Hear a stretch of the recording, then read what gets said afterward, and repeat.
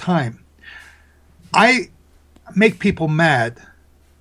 I don't know why I'm such a nice guy, but I make people mad sometimes, a lot of the time, and trying to get them to understand this, and calling them hypocrites, calling them um, fools for not doing this homework, not studying it, and it makes them mad. But the minute you prove it yourself, all I'm giving you is here's where they can find the proof. Once you prove it yourself, it's no longer Joe Dumond teaching. It's now part of Torah, and you can see it. It's it's plain as day. Yeah. So everyone needs to go and prove this themselves. Get the book, Remembering the Sabbatical Year 2016. Take the notes, go to your Bible, and prove this stuff, and you can. You, then you'll know it. You'll own it. It'll belong to you. Yeah. Anyway, carry on. Well, and that that's the whole thing. I mean, as as I started to look into it, it was like, you know, it just it, it was kind of like the whole journey for us into Torah. It just all all of a sudden, our Bible that we have had our whole life began to make sense. And so then when when when I you know came upon what you were saying. And I and I started to look into that and, and read up on it and study it. It just it even it even began to make more sense. And and so what I was saying is a thing that really stood out to me about the sabbatical cycles and how important they are to understand Torah is the fact that they, they are shown in so many different things that would seem to have nothing to do with sabbatical years, like like the count to Shavuot. You know, a lot of the mm-hmm. rabbis and a lot of messianics and Hebrew roots people do not count correctly because they count from the wrong day. But when you use the the same ideology behind sabbatical cycles, it, it is perfect. It makes perfect sense. It shows you exactly when the right feast day is. And and I just man, when I saw that, I started to think, this is crazy. I mean, this literally is, you know, it, it is a clock. It literally is like a clock. It just it does the same thing over and over and over again. And once you learn how to tell time, you know what time it is, right? And that's that's the sabbatical and jubilee cycles. It's it's the clock of of Jehovah. And once you learn how to read his clock, it just everything begins to be very clear. That's right. So the, the the key verse that you said was Second Kings nineteen twenty nine. yes. That and but you only mentioned the sabbatical cycles. The other part of that verse is also telling you when the jubilee year is. Yes. And when you know that, you can come forward and you'll know when the next jubilee year is today. Well, I mean, not today. It's not. It is not. N O T. Not 2017. Like a lot of the old Daniel timeline people are still hanging on to. But the next jubilee year is 2045 Yeah. and the 49th year is 2044. So in the book, Remembering the Sabbatical Year 2016, we go into the chronology of man. And we show you the whole history of man according to the sabbatical and jubilee cycles. And we show we lay it out for you so you can understand it, so you can see it. Now I got an, a letter here tonight. Someone says my chronology is wrong. I said, well, go ahead, try and prove it wrong. I've had hundreds of people try, and they've all proven it right generally when someone writes me is they've got a chronology that theirs is wrong and they've missed a couple key verses and I can point them out pretty quick. But knowing when the sabbatical and jubilee years are and understanding the Daniel 9 prophecy. Here's the key. This is the part that you need to understand. The Daniel 9 prophecy, the 70 weeks are 70 jubilee cycles and they started at the burning bush. They started when Moses was talking at the burning bush. And you can only know when that was by doing the chronology in Genesis. Because the year they entered the promised land, Leviticus 25 2 says, In the year you come into the land, the land shall have a rest. Mhm. That's a Jubilee year. So you're only told two Jubilee years in the entire Bible Leviticus, Leviticus 25 2 and 2 Kings 19 29. Those two Jubilees must match up with each other once you've figured that out, and we show you how to do that in the book, once you got that figured out, then you'll know that from the burning bush, when Moses was talking to Jehovah at the burning bush to go and get his people, 70 Jubilee cycles later brings you to where we are now, 2045. So read Daniel 9, and it says seven Jubilee cycles or seven weeks. That's when King David starts to reign and restoring Jerusalem. And then 62 weeks after that brings you to 1996, the last Jubilee year. Yeah. So here's the key part. yes, you're right about the Second Kings 1929, but it's the Jubilee cycles and knowing how many there are. There are 120 of them. And And you're we're in the final one now, and you're counting by 49s.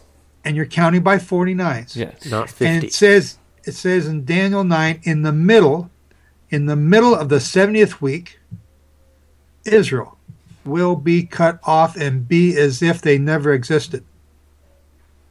When it says Israel, it's talking it's the anointed, the Mashiach, the anointed. It's not the Messiah, it's Israel. It's all 12 tribes. Of which Judah, the state of Israel, is but one. The United States, Canada, Australia, New Zealand, England, Ireland, Wales, Scotland, Norway, Finland, Sweden, uh, Denmark, Belgium, France, and there's probably more, Switzerland. These are all Israelite nations. They will be cut off and be as if they never existed.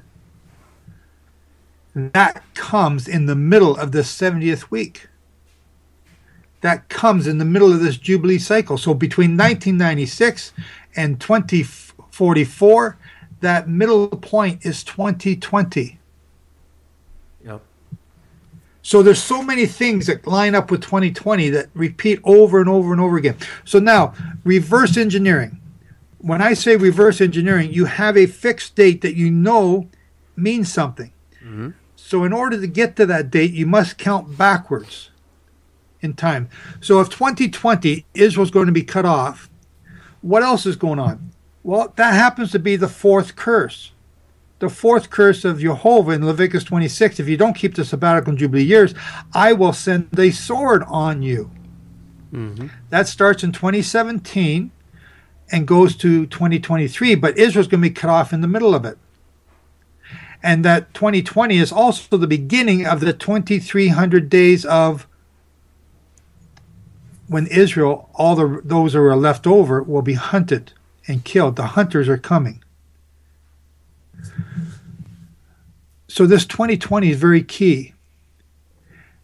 Now, there's a prophecy, Psalm 83, that all these nations are planning against Israel, and in them is Assyria. All these Arab nations, they're going to wipe Israel off the face of the earth, but in there is Assyria. Going to have another coughing fit. Take over for a second. So so basically what what we're what we're talking about here is how important it is to understand the chronology and and you know that's I was talking about sabbatical cycles but but it does 2 Kings 1929 gives us that jubilee year as well as part of the sign and so the beautiful thing about this is when we when we understand when these years are we're able to count forward and backwards and find significant events in history and in the future and and and the cool thing about the, the Jubilee cycles per se is, is exactly what Joseph's describing here. The, these weeks, these uh, in Hebrew Shabua, right? It- It's it's a it's a period of time, and it doesn't necessarily. We've translated it as week, and and sadly, people have have totally created absolute false ideologies because of that translation and not studying what that word means. And and if you don't have the grasp on the chronology, then then it, it's it, it's literally like you're you're. I don't even I You're- don't even have a good analogy there. You're guessing. You- I mean, it's just absolute guessing. Yeah. Well, you're making guessing. things up. See, the Feast of Pentecost is called the Feast of Weeks. yeah. It's also called the Feast of Oaths and the Feast of 49s. So knowing that it's called the Feast of Weeks, this jubil- the, the the 70 weeks of Daniel is the 70 49s. And that's how you understand it. It's 70 jubilee cycles. So anyway, that's that's how we got that all figured out. But Israel's going to be cut off at this time. So again, back you know, I'm having a coughing fit. I'm coming down with a cold, so I apologize. Um, but Israel is going to be cut off. So you have to reverse engineer. How's that going to be set up? Psalm 83, Assyria. Well, how's that going to take place? Now you go to Daniel 8. Again, we've been talking about Daniel 8 in our newsletter, and uh, just world events are just telling us Daniel 8, Daniel 8, Daniel 8 all the time. Yeah.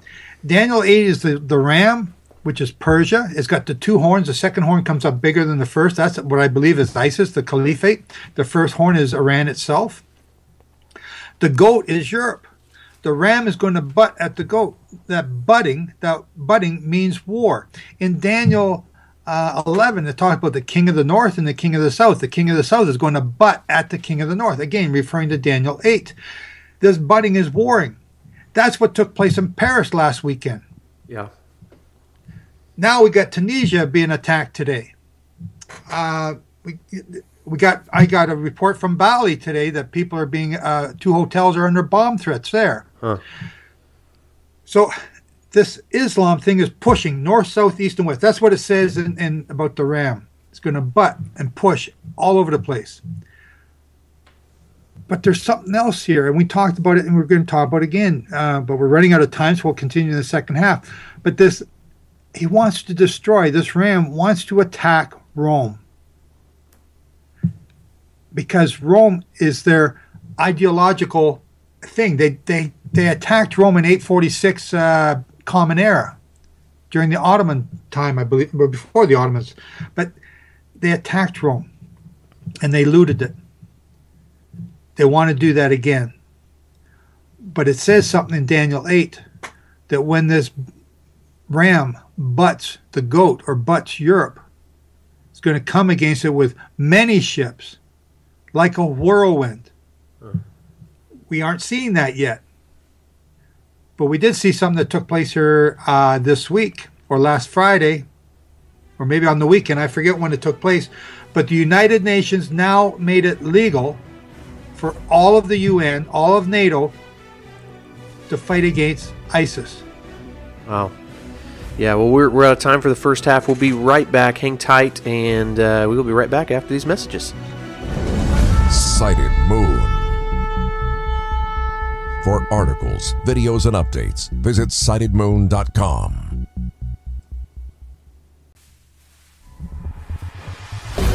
Discover the hidden Israelite ancestry of some of the most powerful nations on earth. Watch as Scripture unveils the terrifying future of America and Great Britain as revealed through the sabbatical and Jubilee years. Discover the identity of Assyria and its role in this final Jubilee cycle. Learn of the pending judgments that are to be soon poured out as a result of transgressing the sabbatical years. Sighted Moon. All right. Well, we are back, and right before the break, we were we were just kind of getting going on the idea of Daniel eight and the ram and the goat and the the, the word budding and